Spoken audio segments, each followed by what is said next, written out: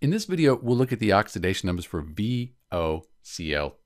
So the first thing we can note is that there's no negative or positive. So this is going to be a neutral compound and all the oxidation numbers, they're going to add up to zero.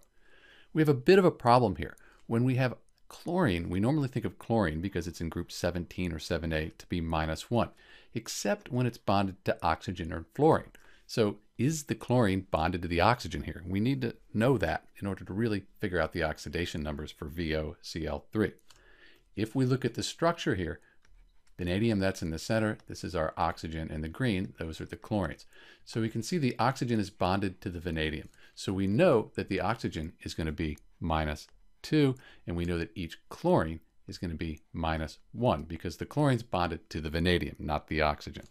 Small point, but it's important that we check these things.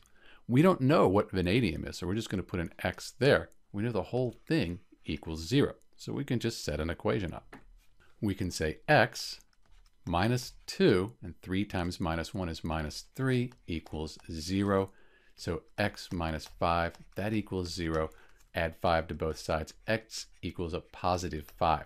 So the oxidation number on the V in VOCl3 that's going to be a positive 5. If we add the oxidation numbers up for each atom, all of these oxidation numbers, they'll equal 0 because we have a neutral compound. This is Dr. B with the oxidation numbers for each element in VOCl3. Thanks for watching.